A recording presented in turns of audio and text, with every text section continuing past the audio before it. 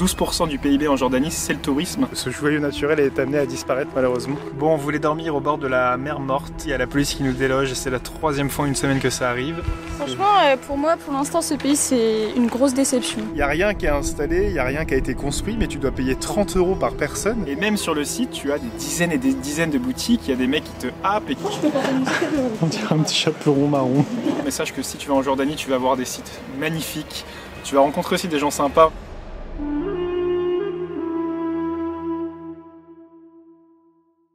Ça y est, on vient juste de passer la barrière de la Géorgie. De la... ça te manque la Géorgie? Ah, c'est parce qu'il a plu cette nuit C'est parce qu'on a parlé de... Non, c'est parce qu'il a plu Donc ça y est, on est en Jordanie. Euh, on a mis 5h30 à quitter l'Irak, entrer en Jordanie. On est fatigué. Enfin, on est épuisé parce que c'est aussi assez euh, stressant de devoir tout surveiller quand euh, il y a 15 personnes qui sortent les trucs de ta voiture. Ils ont sorti tous les bagages quasiment. Surtout qu'ils ont essayé de faire de la corruption au premier passage en nous demandant 22 dollars pour une fouille qui n'existait pas. Ouais, mais on le savait. C'est pour ça, là, ce qui est important de te dire, c'est qu'il faut vraiment que tu te renseignes avant de passer dans un pays. Parce que si on n'avait pas cette info, on aurait payé ces 22 dollars et le mec avait l'air honnête, super sympa. Il m'a dit, ouais, c'est 22 dollars pour la fouille. On a dit, mais non, on sait que non. Mm. Mais là, en fait, il y a une grande, grande route jusqu'à la capitale. Et sur cette route, normalement, il y a franchement rien. C'est un peu le même genre de route euh, qu'on vient de faire euh, côté Irak. Mais on est trop content, un nouveau pays. On est triste de quitter l'Irak, mais on reviendra, c'est sûr. La Jordanie, ça va être euh, magnifique, je pense. Il y a une merveille du monde en Jordanie qu'on a hâte de découvrir aussi. Il y a des déserts, des canyons qui ont l'air absolument incroyables. Donc ça promet d'être trop cool.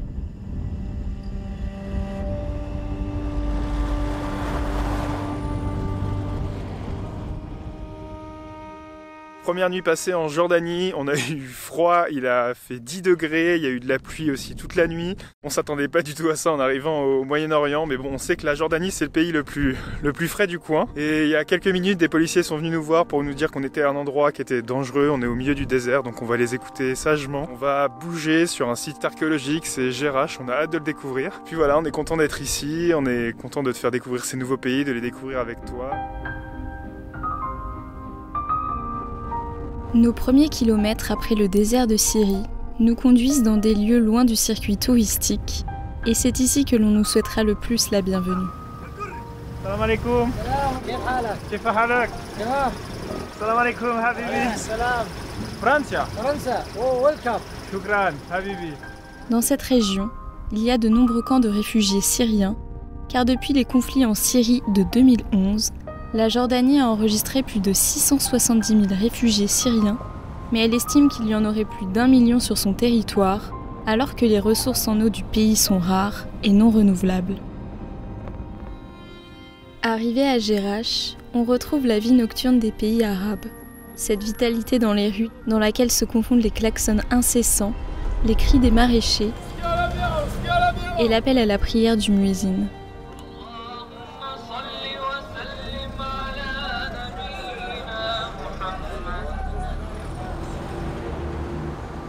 Il y a plein d'enfants qui font coucou derrière la fenêtre. Ah. Speak English? Speak Arabic? Là. Bon, on est un peu embêtés avant d'arriver en Jordanie, on a acheté le Jordan Pass. En fait, c'est un pass que tu achètes en ligne et qui te permet d'accéder à de nombreux sites touristiques en Jordanie. Et ça inclut aussi le prix de ton visa. Malheureusement, une fois que tu l'actives pour la première fois, il ne dure que deux semaines. Tu es obligé de t'organiser pour euh, courir pendant deux semaines dans le pays, sachant qu'il y a d'autres sites à visiter qui sont pas inclus dans le Jordan Pass. Et on a regardé les prix. En fait, tu as des gorges magnifiques à visiter. Il n'y a rien qui est installé, il n'y a rien qui a été construit, mais tu dois payer 30 euros par personne pour avoir le droit d'accéder à la nature et c'est pas qu'un mm. seul site. On a checké plein de choses là qui sont Donc il y a plein de choses qu'on va pas faire dans ce pays parce qu'ils abusent quoi. Ouais. Je sais pas ce que toi t'en penses, tu peux le dire dans les commentaires mais. Selon nous, la nature appartient à tout le monde. Et c'est la première fois qu'on arrive dans un pays où il faut payer autant même pour les sites euh, naturels. On sait pas trop. Euh, quand commencer à activer ce pass, on voulait visiter euh, aujourd'hui, mais si on l'active aujourd'hui, c'est clair qu'on sera jamais au sud du pays dans deux semaines. Je sais pas ce qu'on va faire. La Jordanie, c'est un pays ultra touristique, et voilà, ça c'est les conséquences d'une destination comme ça. Et on va le voir de l'intérieur, ça va être intéressant. On est un peu triste d'avoir quitté l'Irak. c'est dingue de se dire que c'est un pays qu'on appréhendait et aujourd'hui on... On veut retourner Nous voilà devant l'arche de l'empereur romain Adrien, érigée il y a 2000 ans en dessous de laquelle un vendeur de schmar installe son échoppe. Nous marchons entre ces édifices antiques dont la reconstitution nous transporte dans le temps, entre les colonnes du temple de Zeus ou encore le plus grand forum romain.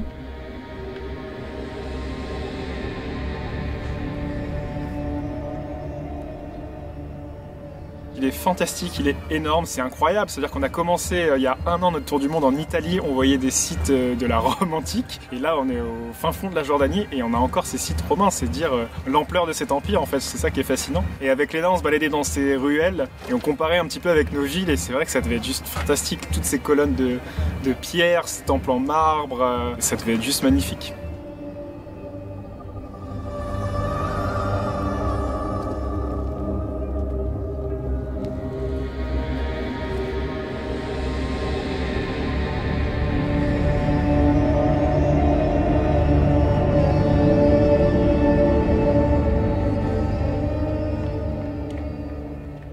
Et même sur le site, tu as des dizaines et des dizaines de boutiques. Il y a des mecs qui te happent et qui te disent vas-y, achète ça, je te le fais à 10 euros au lieu de 20 euros. Tout à l'heure, il y a des mecs qui jouaient de la musique. J'ai commencé à le filmer. Il y a un mec qui va pointer du doigt trois fois et puis qui a pointé la boîte à type. En gros, euh, donne-moi de l'argent. La Jordanie, c'est un pays très touristique. 12% du PIB en Jordanie, c'est le tourisme. Et je sais que c'est un pays qui est très très pauvre en ressources. Mais sache que si tu vas en Jordanie, tu vas voir des sites magnifiques. Tu vas rencontrer aussi des gens sympas. On nous a souhaité plusieurs fois la bienvenue. Mais on va beaucoup te demander euh, de l'argent et d'acheter des choses. Quoi. En tout cas, il y a un truc qu'on se hâte d'essayer en Jordanie, c'est la nourriture et les falafels. Parce qu'à mon avis, ici, la nourriture, ça doit être un délice et ça fait vraiment partie de la culture.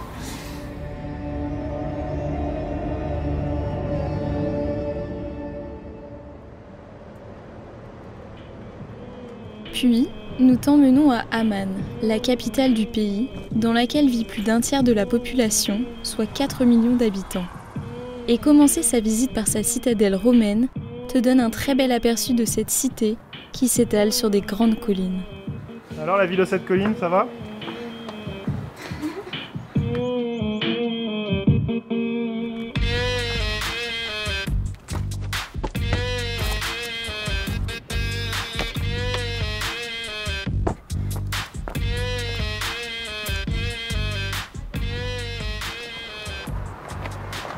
Ah, c'est pas mal ici. Hein. Nous voilà partis en quête de falafel. Alors on quitte les petites ruelles escarpées du centre historique pour retrouver l'agitation du cœur de la ville. Quelques Jordaniens nous souhaitent la bienvenue et on s'y sent exactement comme dans une ville européenne.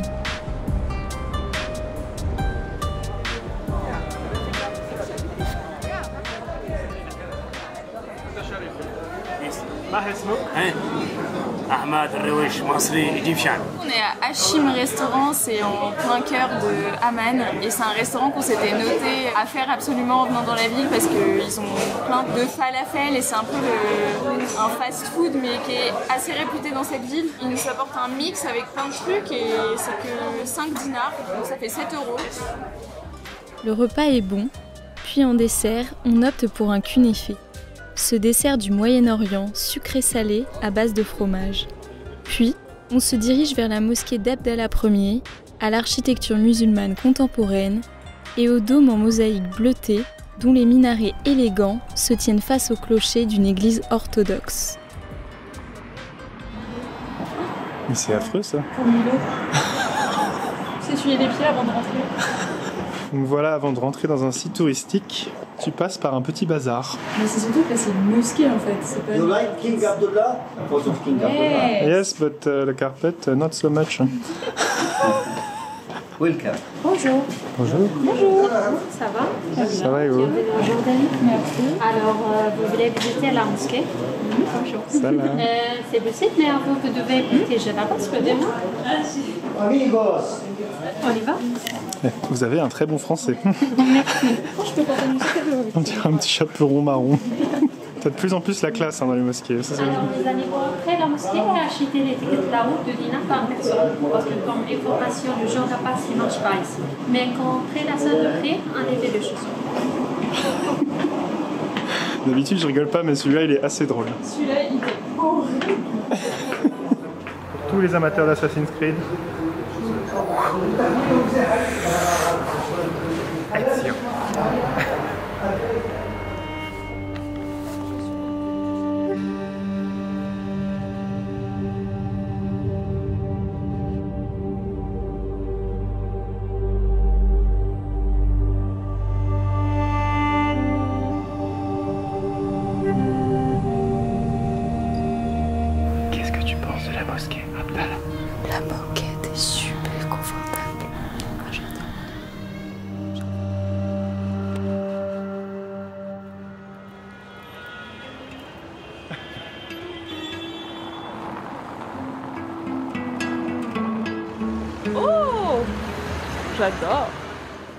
Ici, le street art a été légalisé sous conditions.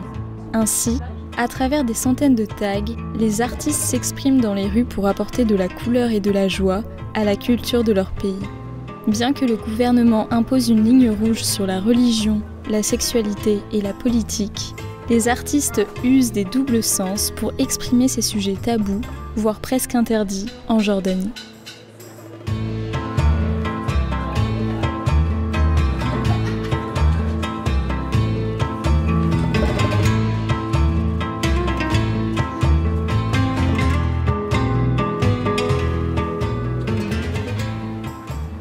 Les rues, on retrouve des boutiques et des bars du style moderne ou vintage, dans cette ville où se mêlent art, culture, littérature et vie nocturne.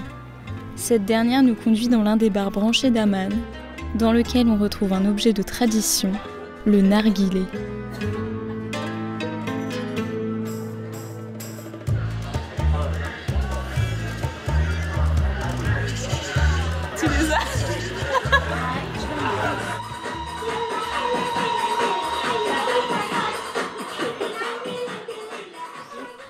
Ça fait une semaine qu'on est en Jordanie, on est en plein hiver et on savait, mais en Jordanie il fait plutôt frais, donc c'est pas rare que le matin on, peine à se doucher, il fait 10 degrés, il y a du vent, on a eu aussi de la pluie alors que c'est l'un des pays qui souffre le plus de la sécheresse euh, au monde. Et sinon évidemment la Jordanie c'est un pays qui est safe, on se pose pas la question de où est-ce qu'on va se poser. Euh, Il y a quand même la police qui nous a délogés plusieurs fois en nous disant il y a des gens qui peuvent boire de l'alcool, euh, c'est dangereux. On- Bon, on leur a dit si vous venez en Europe, dans ce cas-là toutes les rues sont dangereuses. Voilà, l'état des routes est bon, on fait les courses comme n'importe où en fait dans les pays depuis qu'on est en Turquie, donc t'as plein de petits magasins au bord des routes et t'as des grandes surfaces. Pour euh, le voile, tu sais qu'en Iran c'était très strict, et là en Jordanie on voit vraiment tout là-dessus. C'est vraiment un pays ouvert d'esprit sur ça. Euh, on est aussi allé dans une ville qui était censée être authentique, et quand tu vas dans la rue principale, c'est que des produits made in India et made in China. On trouve que voilà ça manque euh, d'authenticité. Et là en Jordanie, ouais, on a juste l'impression d'être bon à, tout payer. Parfois il y a un berger qui passe à côté de la voiture et avant même de dire bonjour, il demande de l'argent. Même là, on va t'emmener sur un lieu qui est insolite pour faire une activité. Je pense qu'il est rare de pouvoir faire euh, dans le monde. Même là, pour trouver un endroit gratuit pour se baigner, bah, il faut chercher minutieusement sur internet parce que sinon c'est plein d'hôtels qui ont privatisé des centaines de mètres de plage quoi. Et sur des kilomètres et des kilomètres. Mais on sait que le meilleur reste à venir. On a des merveilles à te faire découvrir. Donc on va aller voir l'une des sept nouvelles merveilles du monde. Il y a des déserts incroyables à, à explorer et on finira par une expérience qui était l'un des rêves de Lena euh, depuis qu'on se connaît. Donc euh, c'est ça qui est magique dans le voyage quoi, c'est de pouvoir euh, dans un rêve réaliser de nouveaux rêves. Allez, allons à la mer morte.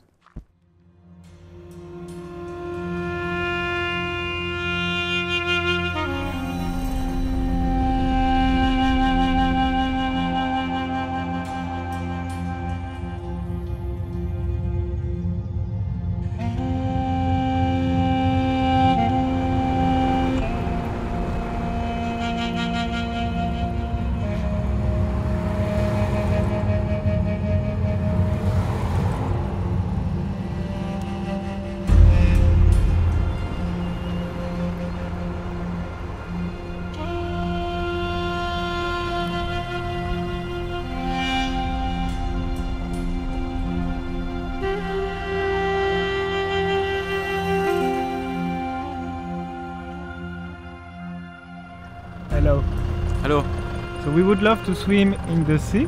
Could you tell me how much is it to get in, please? For shower, two dinner for one person. Okay. And how much is it just to swim inside? Is, is it free to swim? Okay. It's free, but parking not free here. Ah, parking. Uh, not yeah, How much is it the parking? two dinner. Do you know if there is a free parking? Can you try? Ça me saoule ce pays. C'est la première fois que ça nous arrive en plus d'un an de voyage. Partout où tu vas, faut payer. On prend un Jordan Pass pour accéder à plein de trucs dans le pays, mais quand même tu dois rajouter parce que le Jordan Pass ça suffit pas. Là on veut aller se baigner dans l'eau et il faut payer partout.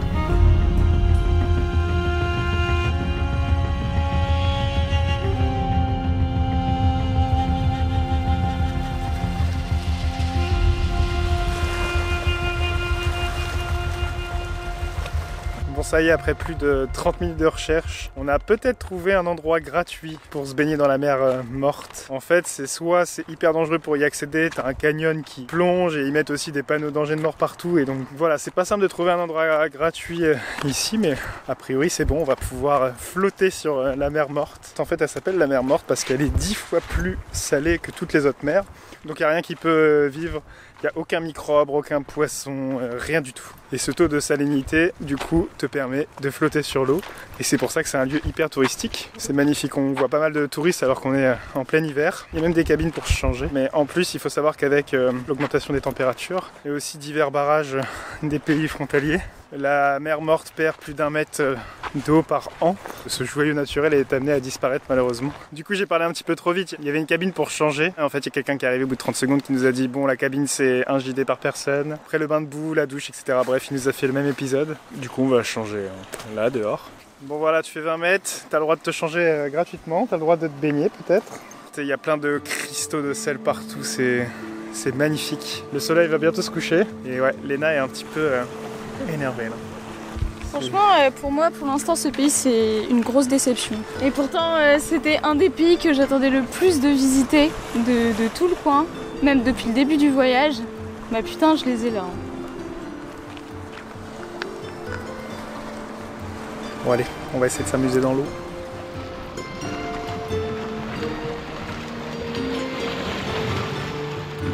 Euh, si tu viens ici, apporte absolument des chaussures pour te protéger les pieds. Donc euh, moi je te conseille les crocs évidemment. Faut faire super gaffe, hein, surtout pas tes yeux dans la mer morte parce que 30% de sel, je pense que ça doit bien brûler.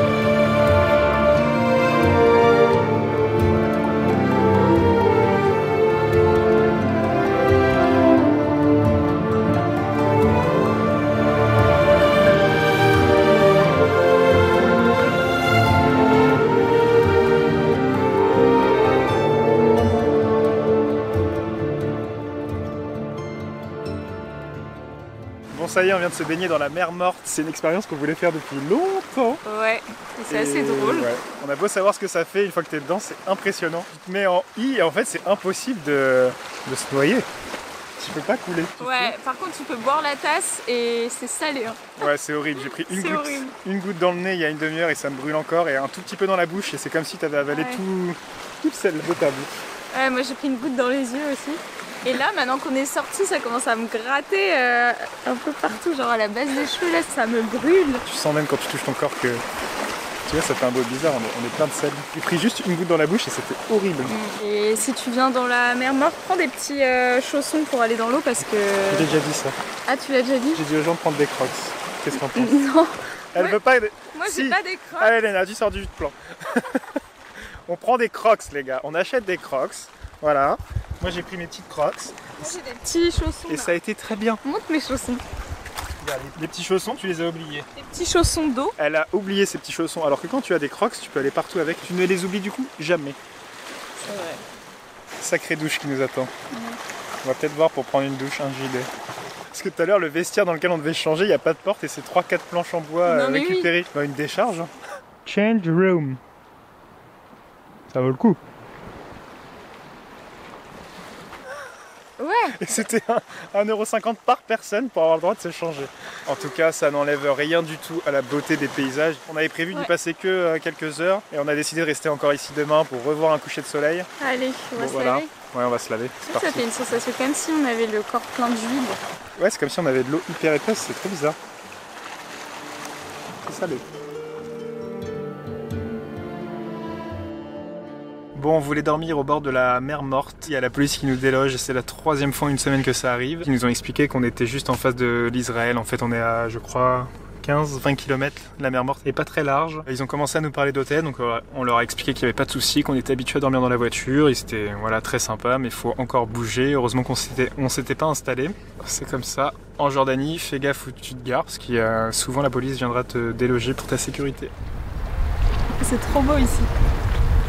On va se rebaigner une deuxième fois, je pense. Les sensations, elles sont cool et là, le lieu, il est magnifique. En plus, il y a personne, alors que quand on est venu l'autre soir, il y avait du monde quand même. Et c'est trop beau. L'eau, elle est bleu turquoise. Dès que le soleil tape sur l'eau, c'est magnifique. J'ai jamais vu une eau aussi bleu turquoise. J'adore.